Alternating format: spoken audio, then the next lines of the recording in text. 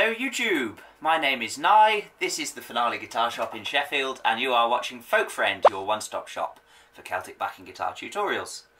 In today's video I'm finally going to be finishing my little mini-series on the style of John Doyle. I'm going to be running you through the interesting way in which he strums reels. What he basically does is takes a very very simple pattern and then adds some really cool syncopated features to the way that he accents that pattern. So I'm going to be running you through a few different ways that you can do that and I'm also going to be showing you some ways that you can take that and apply it to other reels within the Irish and Scottish folk traditions. Before we get into this video, could you do me an absolutely huge favour? Just go down there, hit the little like button, uh, you could also hit the subscribe button as well. If you enjoy it, you'll get a free Celtic guitar tutorial from myself every Saturday, and you'll get access to the Folky Fridays live stream as well, which is on Friday evenings at 5.30 GMT. So first things first, if you haven't seen the three preceding parts of this series, then I recommend checking them out first. They're going to show you all the kinds of chords that John Doyle uses. He plays in drop D tuning, so get your guitar, uh, drop the bottom string down to a low D, and then let's get started.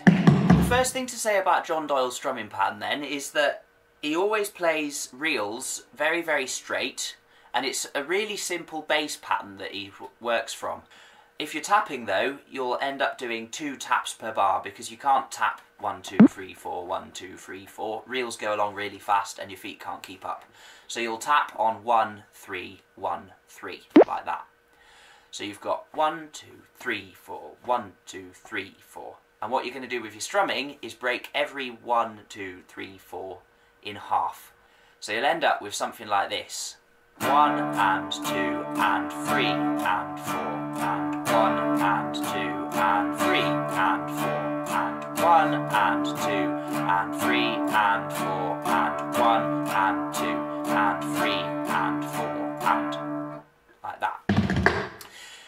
that John Doyle strums is very straight. So those quavers or eighth beats for uh, people over the various seas, um, those quavers are all equally spaced, one and two and three and four and they are not swung. So it's not one and two and three and four and one and two and three and four and. So that's the thing that you can see generally in a lot of Irish trad players as well. They will play reels pretty straight. John Doyle generally, in all the clips I've seen of him playing reels, tends to play them pretty straight. If you don't understand what I mean by swung versus straight, I did make a video a while back that explains that very clearly, so go and check that out. It's linked in the corner right now. And if not, let's carry on and have a look at some of the ways that you can have some fun modifying this rhythm. Let's just take an example of a simple thing to practice that you can do to get used to this um, John Doyle style strumming pattern. If I just take a very simple chord progression in the key of D, I'm going to do two bars on D, one on G, and one on A, and I'm just going to loop that round. So here's what that would sound like played at a sort of fairly sedate speed. Something like this.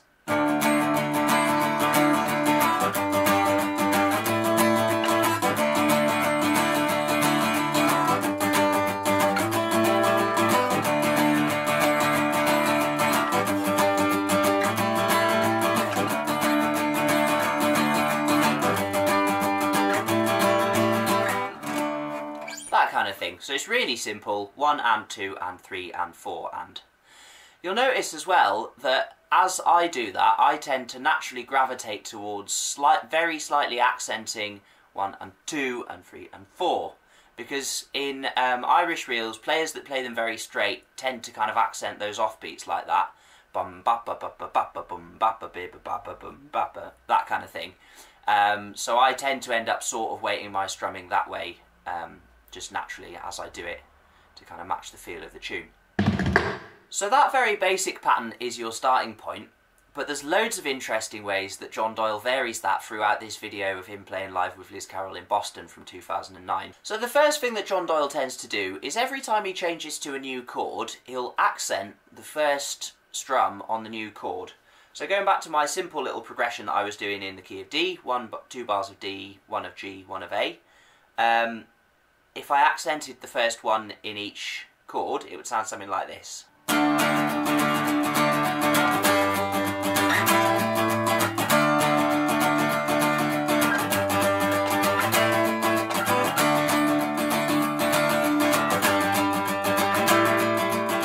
Something like that. So you can see when I hit a new chord, it's just coming out slightly louder. If you want to make that accent really clear, then miss the up that's straight after it. So instead of doing one and two and three and four and on the first chord, I would do one, two and three and four and. So.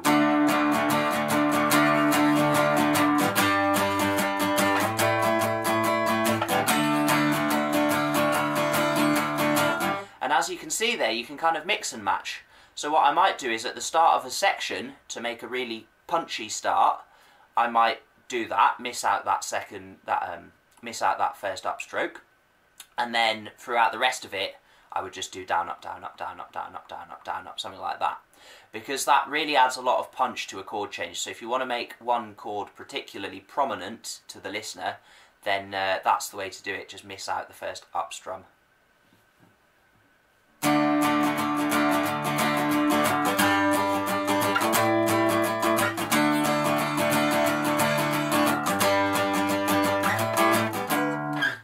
Kinds of things.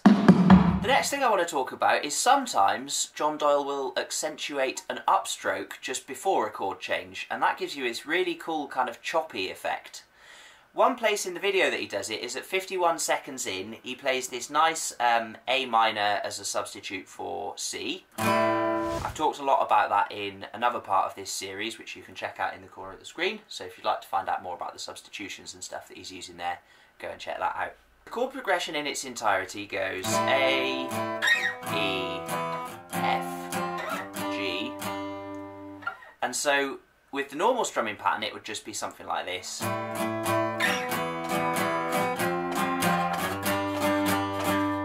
But what he does is he puts a lot more uh, weight on the up strum just before each chord change. And what that does is it gives you this really cool kind of um, sucking effect in a way where it kind of feels like it's leading into the next chord. It almost sounds a little bit like a swing drummer. If you listen to um, old swing records a lot, which I do, then uh, you'll always hear the hi-hats going and it's that little before the beat there's a and that really kind of leads you in. So and that's kind of what he's doing here. He's replicating that with his strumming pattern. So he goes one and two and three and four and one and two and three. Like that. So at speed that kind of sounds something like this. So you can hear I'm getting dunga dunga dunga dunga dunga dunga dung ka-chunk, ka-chunk, ka-chunk. The next thing I'd like to have a look at can be found at about 40 seconds in, um, or just a little bit after there. John Doyle's playing the second half of the first tune, which the tune is in C major and the second part begins on G. And he plays something like this.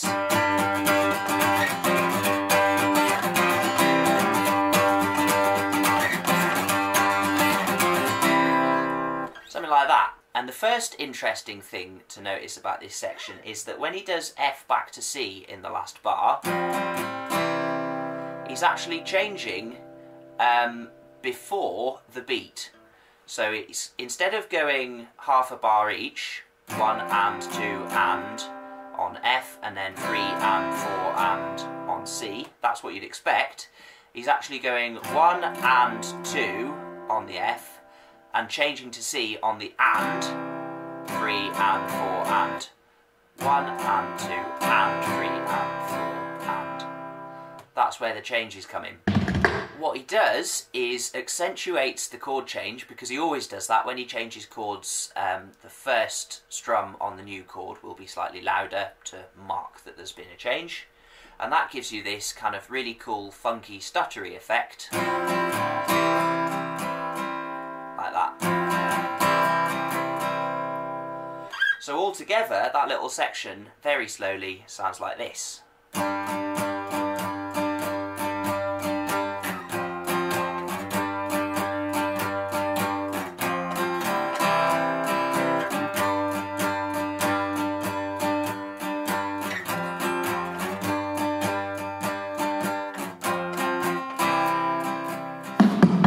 this trick of um, changing chords a quaver too early and use it for loads of other interesting things as well. Um, one thing that I really like to do is, for example, if I was in the key of D major, let's say I've got a progression like uh, D to G, very simple, 1 to 4.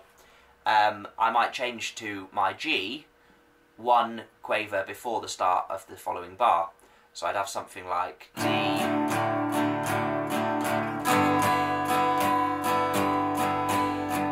G a little bit early. So one and two and three and four and. So I've changed on the last up of that bar. One and two and three and four and. And as in the previous example, you would accentuate that upstroke in order to make it clear that you've changed chord. Just going back to that little section around 40 seconds in, there's another quite interesting thing that John Doyle's doing there. He's actually duplicating the um, rhythm of the melody in which strums he accentuates. So the melody goes dum ba ba ba ba like that, bum ba ba ba ba. Uh, that's the kind of weighting of it and he does exactly the same with his strumming. So he goes like that. So he's accentuating the um, strums that are lit up on the wall um, in order to match the tune. So that is one real advantage of this very simple down, up, down, up, down, up, down, up strumming pattern. Because every quaver is there, and you're not really having to think too much about that because your right hand's just performing a constant motion, if you're really getting into the melody, and you know the melody well, you will probably find that you naturally accentuate the beats which are accentuated in the melody, and that's going to sound really kind of pro um, and really enhance the melody, which of course is what your job as a backing musician is to do, really, at the end of the day. So the pattern that we can see John Doyle doing at uh, roughly 1 minute 25 in is something that I call the faith pattern. The reason I call it the faith pattern is because it sounds a little bit like the intro to Gotta Have Faith by George Michael. This kind of thing.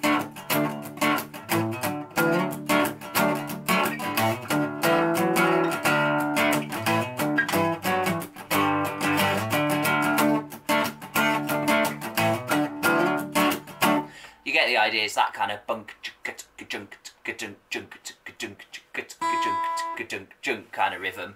So the way that John Doyle uses this pattern is he starts off um, this really cool little ascending chord run, beginning on G minor and going up the scale. He's in the key of D minor at this point. But the rhythm that he does is the interesting part. So he does it like this. Something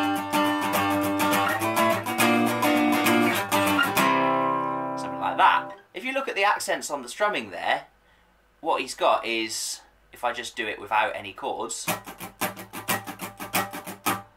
my faith pattern. And mostly he puts the changes on where those accents are. So you get something like this.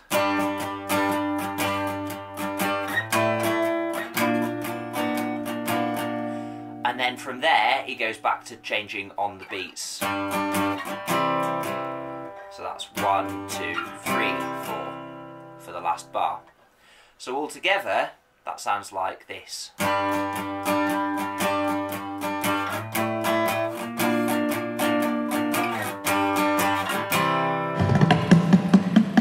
So through a combination of the quote-unquote faith pattern, which is, by the way, a really nice strumming pattern for reels in its own right and gives a kind of more funky flavour, um, but through combining that with moving the chords on the accented beats, you can get loads of really nice chord progressions.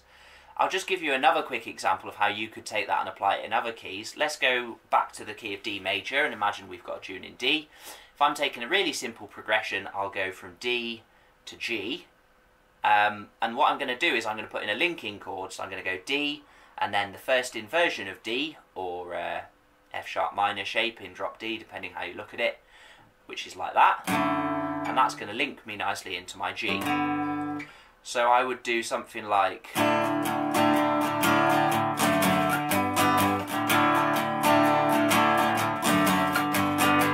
Something like that, where every time there's one of those accented quavers from my faith pattern, I uh, put the chord change on it.